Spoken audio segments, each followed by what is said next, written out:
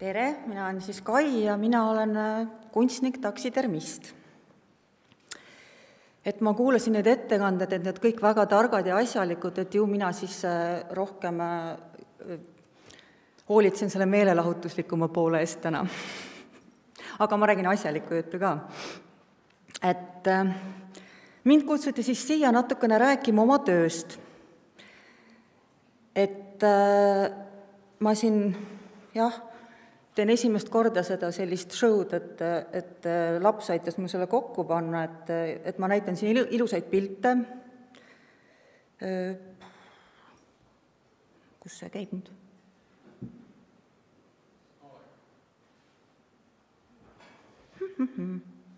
mul on teistsugune klaviatuur. ah jaa, vot, ilusaid pilte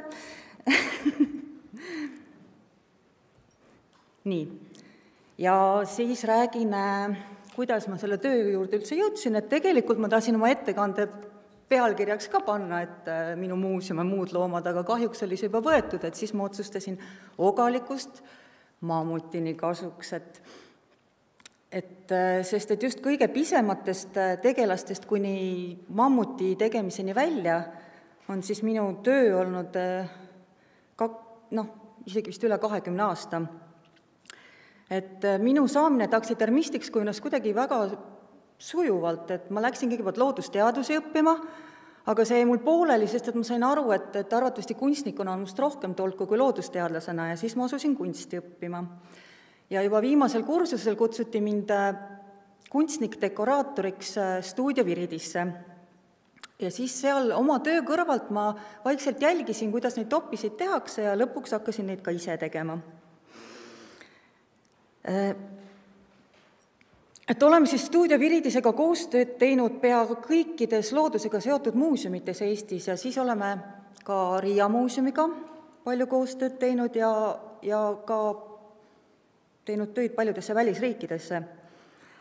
et mina tahaksin teile nüüd väheke tutvustada, kuidas üldse neid topisid ja mulaaže tehakse, et äh, mis neil vahet on ja millal on mõistlikum äh, otsustada siis kas siis topise või mulaaži kasuks et kui ma emale rääkisin äh, seda, et minust on saanud taksitermist, et siis ta sattus täielikku ahastusse.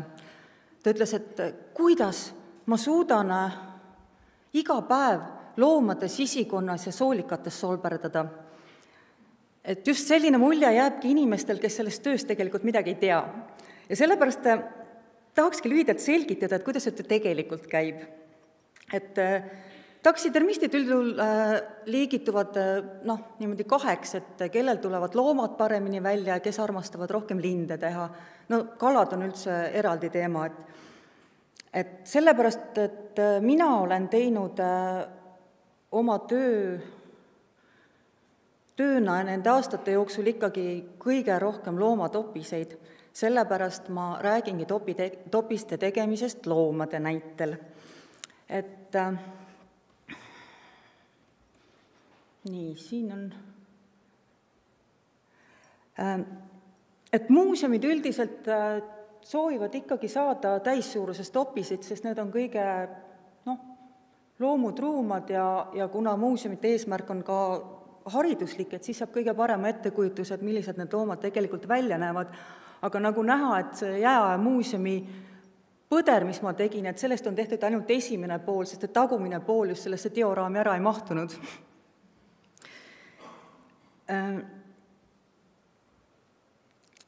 et äh, erakliendid ja jahimehed üldiselt tahavad kas siis püste, trofeesarvi või siis valgendatud koljusid, et äh, räägin lühidalt ka, kuidas seda kolju trofeed saada, et pea pannakse siis kõige loomulikumal teel mädanema, siis puhastatakse pärast ära ja peroksiidilahuses valgendatakse. aga kiiremini saab siis, kui hästi madalal kuumusel teda keeta ja keeta sellepärast madalal kuumusel, et see rasv sinna sisse ei läheks. Äh, niisiis, kui hakata loomatopist tegema, peab ta olema täiesti värske või siis värskena sügavkülma pandud, et näiteks teeservast leitud äh, loomade puhul äh, ei tea kunagi, et kaua nad seal on vedelenud ja tihtipeale on nad seal liiga kaua vedelenud. et siis nahk võetakse skalpelliga äh, puhtalt ja vigastamata maha, et sinna ei tohi jääda ei rasva ega liha ja silmade ja suuga peab eriti siis peenetundeliselt ümber käima, et neid ei vigastaks. siis, kui see nahk on maha võetud, puhastatud, siis läheb ta soolamisele. et soolatakse siis hästi põhjalikult, et mitte ükski koht soolata ei jääks. Ja kui loom just ekstreemselt vigastatud ei ole, siis tõesti sisikonna ja soolikatega ei pea tegemist tegema. et niikaua, kui nahk sooldub, mm, tegeletakse mannekeeniga, millele nahk pea, pärast peale tõmmatakse. Äh,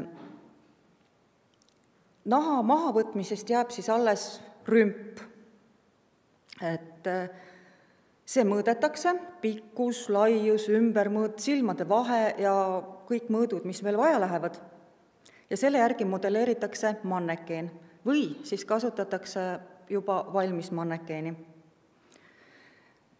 see sõltub siis, et äh, milline topise asend ja millised on mõõdud, enamjaolt saab ikka ka mannekeeni kohendada rümba suurusele vastavaks ja, ja ka asendit muuta.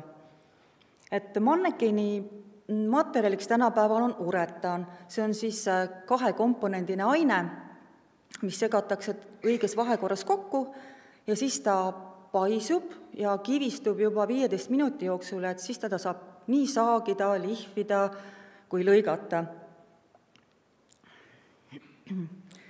kui siis äh, manneken on põhimõtteliselt valmis, siis pannakse talle pähe klaasist silmad, mis on ka tänapäeval väga elutruud, ja pannakse saba, mis äh, üldjuhul on traadist, mille ümber siis keeratakse näiteks takku, et tehakse ta nii jämedaks, kui parasjagu vaja. noh, kobraste puhul see käib natuke teistmoodi. et äh, siis on põhimõtteliselt manneken valmis ja kui nahk on soolatud, siis pannakse ta parki. see on, tähendab sipelkappe soolalahusesse. et äh, topiste puhul tehakse topiseparki, see tähendab, et kuivades muutub ta jäigaks ja ta on siis kõvasti ümber selle mannekeeni. et meie, või noh, mina ja noh, seda mm, karusnahaparki ei tee, sest see on väga keeruline protsess ja seda teevad ikka professionaalsed parkalid. et sellist karusnahaparki on vaja siis, kui soovitakse vaipa, näiteks trofeevaipa, et siis ta peab olema pehme. et äh, kui nahk on pargitud, siis ta eulaanitakse siis see on selline protsess, kus nahal kaovad omadused, äh, mis kahjureid huvitavad. et varasemalt siis, kui mina, noh, enne minu aega, ühesõnaga, kasutasid taksitermistid äh, nahkade töötlemisel väga mürgiseid aineid, et näiteks nagu arseen ja sellepärast oli see taksidermisti elukutse ikka väga ohtlik ja et see keskmine eluiga ka vist väga kõrge ei olnud nendel. et tänapäeval on sellised leebemad meetodid, aga noh, et see ei tähenda, et ei tule siis nagu ohutusnõudeid järgida. Mm. et äh, siis peale võlaanimist nahk loputatakse, kergelt kuivatatakse, et on valmis äh, siis mannekenile peale tõmbamiseks. et ta pannakse mannekenile peale, äh, õmmeldakse kinni, kui vaja, ka liimitakse selle mannekeni külge, siis need kohad võivad, mis võivad ära nihkuda, kuna nahk kuivades Äh, hakkab mängima, et äh, siis peente nõeltega fikseeritakse see ära ja jäetakse kuivama. ja kui see nahk on sinna ümber just ära kuivanud, siis on põhimõtteliselt topis valmis, et ainult viimistlemine. et viimistlemine on siis, et tehakse loomale soeng, värvitakse silmad ja ka nina ja et ta peab lõpus ikka välja nägema täiesti selline noh, peaaegu et elus. et Äh, noh, selle protsessi juures on veel niivõrd palju nüansse, aga ma ei jõua neid kõiki siin ära rääkida, et ma loodan, et ma mingisuguse üldise pildi suutsin praegu luua. et noh, sellise lühitutvustuse põhjal tundub päris lihtne, aga tegelikult on ikka mm, see paras väljakutse, sest et äh, iga loom on ainulaadne ja igasuguseid probleeme võib tekkida. et äh, näiteks kui loom on kütitud äh,, ja on kuuliaukudega või muud moodi nahk on tugevalt vigastatud, et siis, siis on ikka väga peen ja suur töö see kõik nagu niimoodi kinni õmmelda ja peita, et lõpptulemusele neid vigastusi üldse näha ei jääks. Äh, osadel loomadel jälle on mõned piirkonnad niivõrd õrnad, et, et nahka mudida ei tohi, et karv võib ka sellepärast maha tulla. ja on juhuseid, kus näiteks see, et, et nahk on riknema läinud, ilmneb alles siis, kui ta on ära pargitud, et siis alles hakkab see karv maha sealt tulema. et kõige pretensioonikamad loomad minu arust on rotid ja mutid et eh, nende esimest korda midagi välja tuleks, et see, see on ikka suur juhus, et minul on tavaliselt kolmas või neljas, et noh, seegi hea, et nemad tahavad ikka selle karva ikka igal juhul maha visata. aga õnneks on külmkapivarud nende puhul ikka päris suured, et, et, et saab katsetada samuti on äh, ülioluline tunda looma anatoomiat. et tuleb jälgida, et igal liigile on omane silmavaade, aa, ma vahepeal näitan pilte ka ikka äh,. Vot, silmavaade ja et ei juhtuks midagi sellist, et äh, suur ja võimas hunt tehakse valmis ja siis tal on koera nägu peas.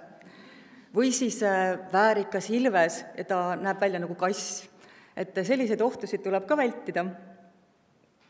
Äh, ja siis, see on siis manneken, üks näide. Äh, see on ujuv, ujuv kobras nii, need on kõik minu tehtud muide aga siis omaette ooper on Siilitopis. et äh, mina olen neid teinud päris palju ja ellu jäänud aga üks asi, et valvsust ei tohi kunagi kaotada kui siili teha. nii, et üks teema veel on koduloomatopised. et mina ja minu kolleegid on sellisest tööst ikka kategooriliselt keeldunud. Et ma olen mitmeid lugusid kuulnud, kus see töö on ikkagi vastu võetud, aga ma ei ole mitte ühtegi lugu kuulnud, mis oleks hästi lõppenud et enda looma topises ikkagi ei tunta kunagi ära oma pereliiget, kellega on aastaid koos elatud ja konfliktid on siis pärast kerged tulema kliendi ja noh, tegija vahel. Äh, no räägin mõnest põnevamast tööst ka, et äh, mis on tulnud näiteks loomaaiast, et viimane topis, mis on loomaaiast tuli, oli siis Kääbus jõehopu Holger ja kuna tema tuli ainult nahana, siis et ma pidin kõik mõõdud võtma naha pealt ja see oli ikka päris kõva nuputamine. aga päris hea tuli välja. et üks huvitav oli veel ninasarvik Mörri, et me stuudio Viridisega terve kollektiiviga pidime sellega tegelema, sest et ühele inimesele käib see ilmselgelt üle jõu. et mäletan veel, et kui, kui ta oli kokku pandud, siis ma kogu kuivamisprotsessi juures ma peitli ja haamriga iga päev pidin neid volte uuesti sisse lööma, sest et eh, nahk tahtis kogu aeg sirgeks tõmmata selle kuivamise ajal. et mõned huvitavad asjad on tehtud ka teatrisse, et mul tuleb meelde, noh, teatritel on ka mõnel, eh, mõnes lavastuses vaja sellist topist või midagi taolist, et et ühes lavastuses oli vaja rotti kes igal etendusel visati vastu seina ja temast pidi ka verine jälg järgi jääma. et, et vot selliseid huvitavaid töid on tehtud Viimasel ajal on jah, et muuseumites, et mingid teatud elukad päris palju asendatakse need topised mulaažidega. noh, et karvased ja sulelised, need, need on jäänud ikkagi noh, tehakse ikkagi topised aga näiteks juba kalad, roomajad, kahepaiksed, nende puhul juba on järjest rohkem hakatud kasutama mulaaže. et äh, no näiteks nagu kalamehe püütud kalad küll, et nendel ka-, kalameestel on niisugune emotsionaalne juba side nende kaladega, et siis nemad teevad ikka veel topiseid. et aga minu arust on äh, jah, et äh, mulaažid on selline tänapäeva vahendite ja materjalide puhul ikkagi loomulikum viis neid eri liike tundma õppida. ja viimane kalamulaaž näiteks oli mul Võrtsjärve hiilsäga. et see on nüüd siis mulaaž, et sellest tehti ka topis, noh, see on poolik, ma räägin kohe sellest aga, aga Võrtsjärve muuseumisse läks ikkagi mulaaž. Et ma räägin siis selle põhjal, kuidas seda mulaaži tegelikult tehakse, et kala peab jälle värske olema, sellest võetakse silikonvorm, et see on umbes sama materjal, et kui tehakse proteese, et see silikon, mis pannakse suhu ja millest tehakse protee-, noh, vorm, et seda, seda kasutatakse ka kalamulaažide puhul tänapäeval. siis äh, vorm mm, tehakse plastiga üle, kasutatakse klaaskiudu veel selle tugevdamiseks mitmed korrad ja siis pannakse noh, kaks poolt pannakse kokku, siis ta kinnitatakse, viimistletakse, siis last-, valatakse uretani täis, no uimede puhul äh, samamoodi tegelikult need võetakse veel eraldi vormid, need pannakse pärast külge ja vead parandatakse ja siis see on nüüd praegu siis nagu kruntvärviga kaetud. et siin on ta nagu poolenisti värvitud ja sellisena ta jõudis siis sinna Võrtsjärve muuseumisse. et see on siis lõpptulemus. et kui ta oleks nüüd noh, topisena, et siis noh, mina arvan, et see näeb parem välja et jah, et kui võtta värskelt kalalt ikka ilusti see vorm, et siis, siis jääb kõik väga autentne. et, et tuleb natukene veel parandada mm,, värvida õigete värvidega, kui vaja, siis glimmeritega ja, ja soomuskaladel ka enamjaolt tuleb siis need soomused ükshaaval sinna peale maalida. Nii, et nii saab minu arust ehtsast kalast ikka päris hea ettekujutuse, et nende vormide puhul on veel hea, et neid saab korduvkasutada ja, ja mulaaž on üldse kergem hooldada ja nad säilivad kauem ja nad kardavad vähem neid igasuguseid temperatuuri ja neid tingimusi ja päikest ja et, et selles mõttes on nad natukene kindlamad kui topised. ja noh, ogalikust ikka väga topist ei tee. et see oli siis nüüd see ogaliku osa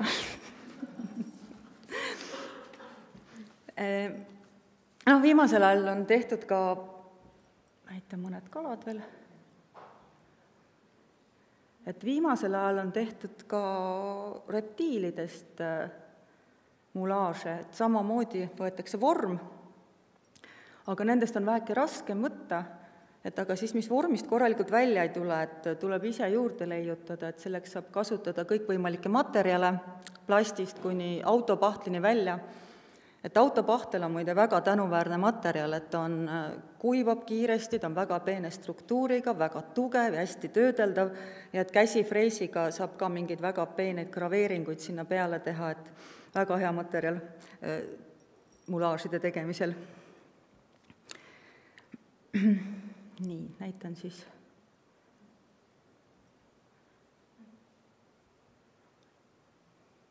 Nii. Et kivid seal all on ka mulaažid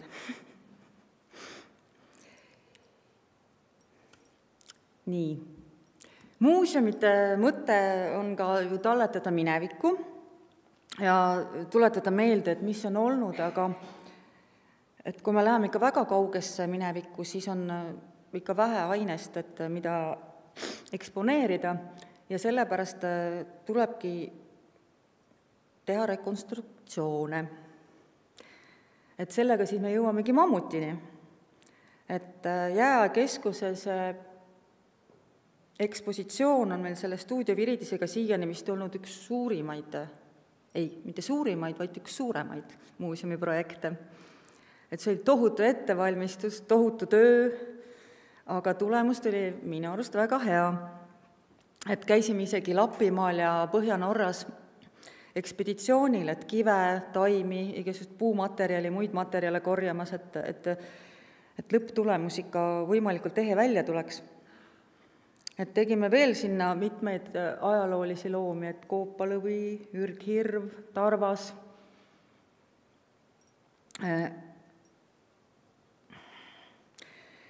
nii, et kuidas siis et noh, nende puhul on kasutatud nii looduslikke kui siis tehismaterjale, et, et need karvkatted on ikka erinevatest loomadest kokku pandud ja ühtseks värvitud, et et nad ka näeksid sellised välja, nagu nad kunagi ikkagi olid. Et aga kuulsaimad on ikkagi need mammutid seal jääkeskuses, et et nende puhul sai siis ka isegi teadlasi vist kaasatud, et, et see kõik tuleks ikka täiesti õige välja ja et kõigepealt ehitati siis puukarkass, sinna ümber hakati siis nii-öelda lihaluudele ehitama. mul siin peaks neid, vaatan, jah, et umbes selline on siis see mammut ilma karvkatteta, et äh, karvkatte materjali tuli ka tükk aega nuputada ja välja nuputasime sellise asja, et aluskarv tuli takust. Mm, ja pealiskarp pühvlisabadest, mida me tellisime väga suure hulga Indiast.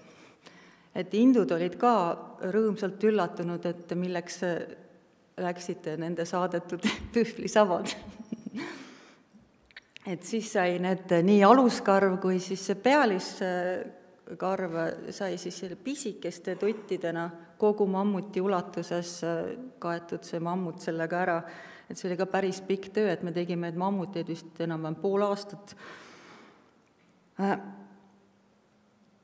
Ja siis jah, et aasta tagasi, kui oli see jääkeskuse kümnes juubel, et siis me käisime neid siis natukene restaureerimas, sest et paljud inimesed ikka ei suuda vastu panna soovile seda väikest mammutit paitamas käia, et siis tuli teda natukene kõpitseda ja värvida ja soengut teha.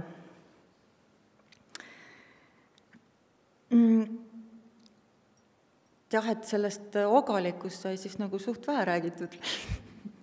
Aga võiksin rääkida küll pikalt, aga kahjuks hakkab see aeg meil siin otsa saama ja et et ma loodan, et, et ma suutsin teile valgustada natukene oma tööd ja seda, seda muuseumite sellist loodusekspositsiooni poolt natukene. et aga suur tänu teile!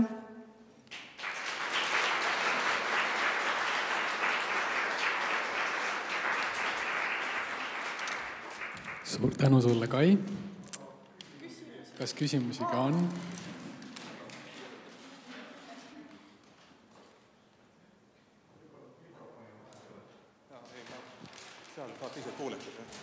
Et ähm, tegemist oli siis parkimisega, seal kasutati sipelgahapet, et kuidas see protsess nagu käib?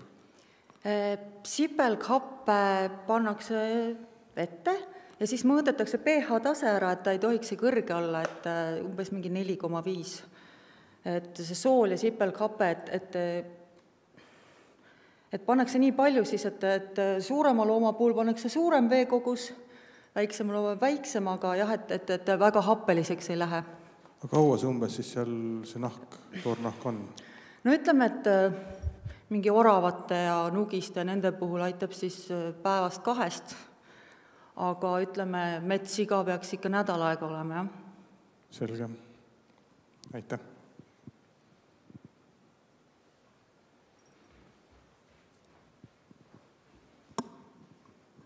aitäh toreda ettekande eest.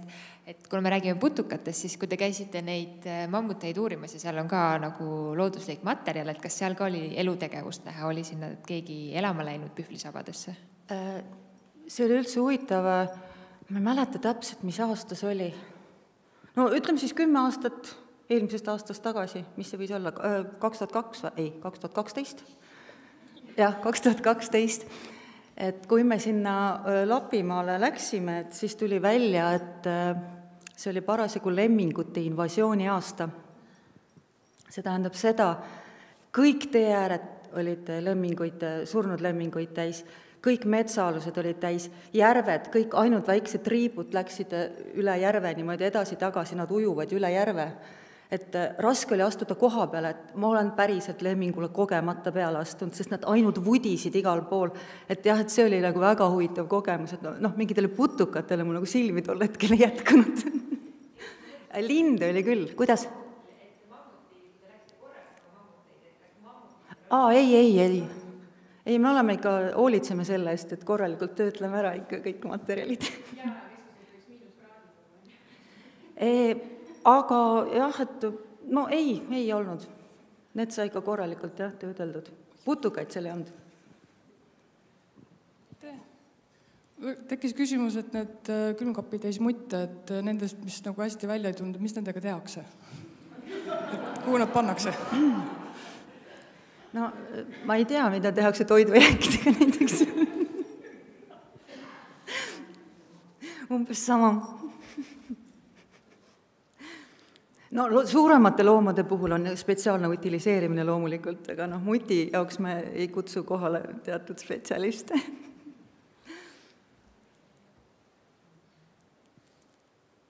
et on siis kõik, jah? aitäh!